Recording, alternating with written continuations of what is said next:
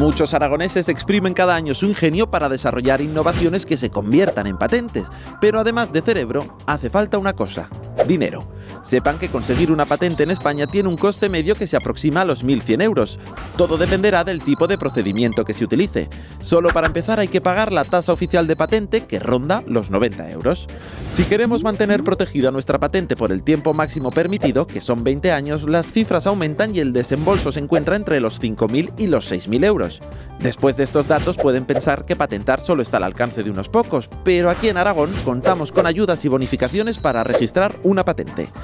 Por ejemplo, si el papeleo se realiza de manera electrónica, el ahorro puede ser del 15%. De hecho, en la actualidad, 8 de cada 10 solicitudes presentadas se han hecho online. Además, tanto la Universidad de Zaragoza como las pymes disfrutan de un descuento de en torno al 50%, y el Gobierno de Aragón convoca ayudas que se pueden utilizar para costear la obtención, validación y defensa de patentes. Ayudas que pueden llegar a los 25.000 euros. Los precios se disparan en el caso de patentes europeas. El coste medio asciende a 3.000 euros y su mantenimiento a 20 años alcanza los 30.000. Y como dato curioso, sepan que hay que presentar la documentación en cada una de las 24 lenguas oficiales de la Unión Europea, al más puro estilo de la Torre de Babel.